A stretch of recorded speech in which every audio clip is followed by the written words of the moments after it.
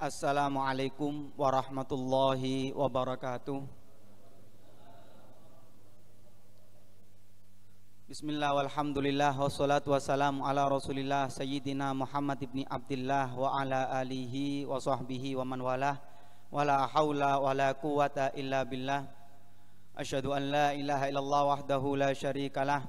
Wa asyhadu anna sayyidana Muhammadan abduhu wa rasuluh Subhanallah walhamdulillah wa la ilaha illallah wallahu akbar wa la hawla wa la quwata illa billahil aliyil azim. Adada kulli harfin kutiba yuktabu abadal abidin wa dahrad dahirin. Subhanaka la ilma lana illa ma 'allamtana innaka antal alimul hakim. Nawaitu ta'alluma wa ta'lim wa naf'a wal intifa wal mudzakarata wat tadhkir wal ifadata wal istifadah wal hatha ala tamassuki bi kitabillahi wa sunnati rasulihi wa du'a ilal huda wa dilala alal khair ibtiha'a wajillah wa mardatihi wa qurbihi wa thawabihi minallahi ta'ala Qala al-musannif rahimahullah wa nafa'ana bihi wa bi ulumi fid darain amin. Sunanul Jum'ati wa hiya katsiratun. Minha al-awwal al-huslu wa waqtuhu yadkhulu bitulu'il fajri wa yakhruju bil ya'si min huduril jum'ah. Wal afdalu ta'khiruhu ila rawah wa yakunul huslu li hadiriha Athani at-tazayyun bi ahsani thiyab wal bait wal bit aula. Fa'al basu thawb al gamis wal imamah war rida. Wa yusannu an yubalihul khatibu fi husnil hay'ah. Athalis at-tanadduf. Min halki anatin wa natfi ibtin wa qasi syaribin wa taklimi dhufrin wa izalati rihin karihin karihatin wa siwakin wa ghairi dhalik. Setelah membahas yang mungkin membutuhkan pikiran kali ini membahas tentang kesunahan roto enteng ya yang berat mengamalkannya. Sunanul jum'ah kesunahan-kesunahan Jumat. Kalau membahas kesunahan-kesunahan Jumat ini kalau dalam ihya dibagi menjadi dua. Ada kesunahan hadir Jumat ada kesunahan hari Jumat. Dan itu sudah dibahas oleh guru kita Ustaz Hadi. Bisa di murojaah ulang lewat channel YouTube-nya Hadi Segaf Asegaf.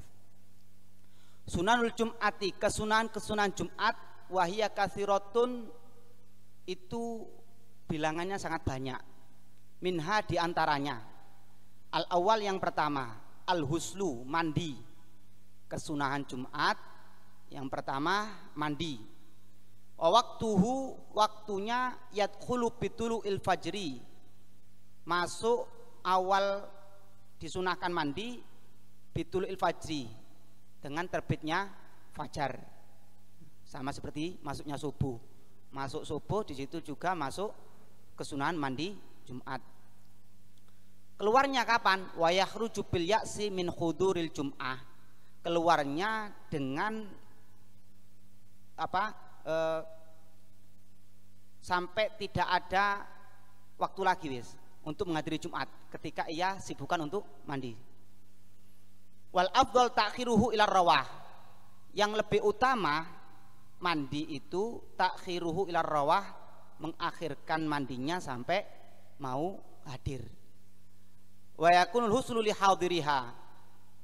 Dan kesunahan mandi ini lihadiriha bagi yang menghadiri. Menghadiri Jumat. Kesunahan mandi disunahkan bagi yang menghadiri Jumat. Nah, ini tentang apa? Mandi di hari Jumat memang ada pendapat disunahkan mandi ini likuli ahadin wa ilam yuridil khudur. Ada pendapat apa disunahkan mandi hari Jumat ini sekalipun ia tidak menghendaki hadir. Walaupun gak hadir tetap disunahkan mandi. Ada pendapat seperti itu. Kemudian di situ sebutkan lihadiriha orang yang menghadiri jumatan baik menghadirinya tadi itu dia hukumnya wajib ataupun tidak kalau dia mau hadir maka disunahkan mandi jum mandi Jumat Siapa yang nggak wajib Jumat? Perempuan, anak kecil, kemudian orang yang bepergian. Nah, itu semuanya orang-orang yang nggak wajib Jumatan. Tapi ketika dia mau hadir Jumatan, sunnah bagi mereka untuk mandi Jum, mandi Jumat. Bahkan mandi Jumat ini tidak bisa dibatalkan dengan hadas besar. Jadi misalnya jam 8 dia mandi. Setelah itu gak langsung berangkat tidur junub. Nggak batal nggak perlu diulang nggak perlu diulangi. Nah, karena hadas besarnya tidak membatalkan apa apa mandi jumatnya kalau misalnya kelupaan nggak mandi atau waktunya mepet pabrian nah, waktunya mepet kalau mandi nggak nututi jumatan misalnya Ya apa? Boleh nggak dikodoi? Wa yusannu qada'uhu inda Ibni Hajar. Disunahkan mengkodok mandi Jumat ini menurut Imam Ibnu Hajar kasairil agsalil masnunah sebagaimana semua mandi-mandi yang disunahkan. Mandi-mandi yang disunahkan semuanya itu disunahkan mengkodoi ketika apa terlewatkan. Tapi menurut Imam Romli ya, Menurut Imam Romli tidak disunah, tidak disunahkan mengkodoinya. Bahkan Imam Subuki pernah ditanya, hal tukdol aksal masnuna, apakah dikodoi mandi-mandi sunnah itu? Fakola beliau menjawab, lam arofiha naklan. Aku nggak pernah mendapati yang dinukil tentang mengkodoi mandi Jumat. Wal lah, adapun secara zohir, secara nampak hukumnya ya tidak sunnah dikodo dikodoi mau nggak pernah dapat didapati li annaha alasannya ingkanat lil wakti fakot fata jika memang alasannya mandi itu karena waktu ya, karena waktu maka ketika hilang apa mandi Jumatnya maka hilang pun apa kesunah kesunahannya. Auli lisabab kalau misalnya itu mandinya disunahkan karena sebab karena sebab hadir Jumat misalnya fakot zala maka sudah hilang dengan hilangnya sholat Jumat. Nah, ini tentang perbedaan yang ada di dalam kesunahan mandi Jumat seperti pembahasan-pembahasan sebelumnya kalau misalnya apa e, terjadi dua hal berangkat pagi disunahkan bagi orang yang mau hadir Jumat. Mandi juga disunah, disunahkan. Nah, ketika tersodorkan bertentangan ya apa? Saya ketika mandi Jumat nanti nggak bisa berangkat pagi-pagi. Soalnya saya masuk di dalam kamar mandi ini waktunya jam setengah sebelas misalnya. Tapi kalau saya berangkat pagi jam 8 nggak bisa mandi karena waktu saya mandi itu jam setengah sebelas. Nah ini yang didahulukan yang mana? Nah, yang didahulukan walau ta'aradul huslu wa tabkir kudimal huslu lil khilaf fi wujubih maka didahulukan mandi ya, yang dikedepankan adalah mandinya wis gak apa-apa hadirnya rodok telat-telat titik yang penting bisa man bisa mandi Jumat yang penting bisa mandi Jumat kenapa kok seperti itu lil khilaf fi wujubih karena ada pendapat yang mewajibkan mandi untuk sholat jum untuk sholat Jumat. Ada yang membagi, ya, hukumnya ada yang membagi jika tersodorkan dua yang bertentangan tersebut. Ingka nabi jasa dihirihun kariha ikhtasal wa illa bakaro. Jika memang di dalam jasadnya tadi itu ada bau yang menyengat, yang gak enak, maka dia lebih memilih untuk mandi. Jangan berangkat pagi harus adus ampune lebus misalnya mari kerja ya apa ini aku berangkat pagi apa nunggu mandi enten ono mandi nah. Wa kalau nggak seperti itu, wis baunya wangi, mulai tadi soalnya mau sholat subuh mandi dulu misalnya. Wangi, harum, nggak kerja, nggak opo, khusus ibadah hari Jumat misalnya. Ya apa? Kalau saya berangkat pagi nggak bisa mandi, kalau berangkat kalau mandi saya nggak bisa berangkat pagi, maka berangkat pagi. Berangkat pagi. Adapun keutamaannya oh sangat banyak. dalilnya pun juga banyak, keutamanya juga banyak. Satu faedah saja. An Ibni Umar wa Anas bin Malik. Diriwayatkan daripada Ibnu Umar dan Anas bin Malik radhiyallahu anhuma. Radhiyallahu anhum. Qala beliau berkata, beliau berdua berkata, Ibnu Umar dan Anas bin Malik berkata, Qala Rasulullah sallallahu alaihi wasallam, pernah bersabda Nabi sallallahu alaihi wasallam, Anna tahtal arsh Madinah wa qala Qurtubi fi tafsirih sab'ina Madinah.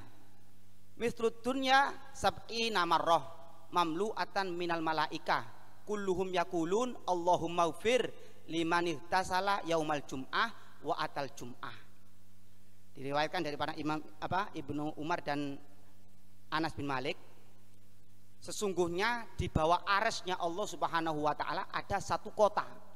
Bahkan dalam pendapat Imam Qurtubi kota tersebut bukan satu kota tapi sab'ina Madinah 70 kota.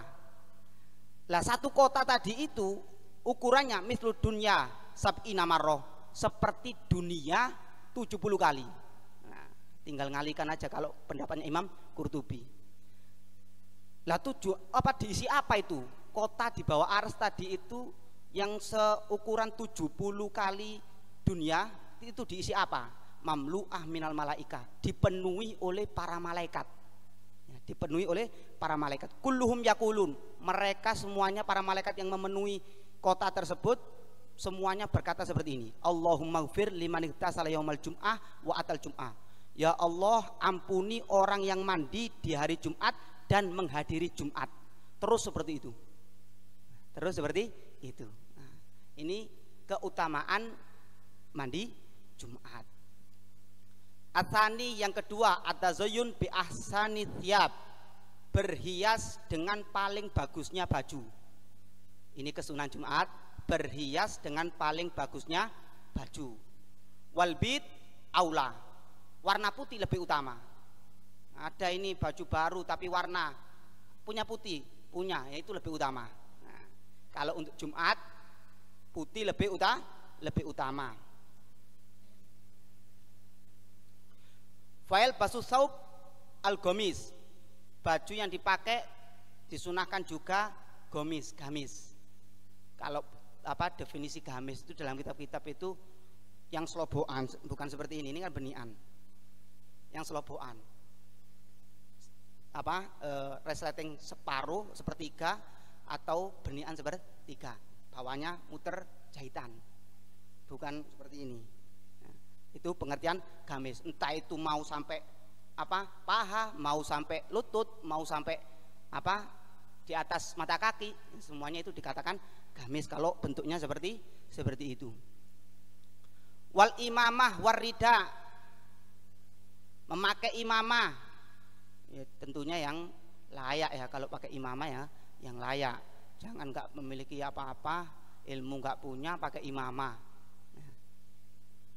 Warida eh, pakai rida. Lah rida apa? Umum.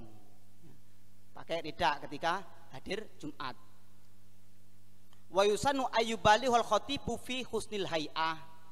Disunahkan bagi si khotib ya si khotib itu menyangatkan di dalam menghias keadaannya. Kalau khotib wah harus yang wibawa. Pakai toilasan pakai gamis pakai jubah.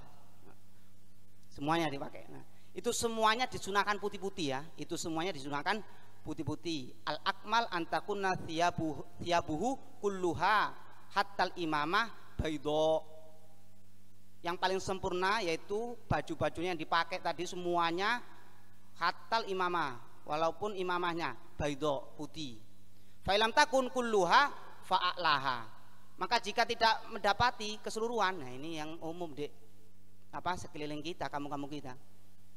Kalau misalnya nggak mau putih-putih, wes nggak punya putih-putih, nggak ada.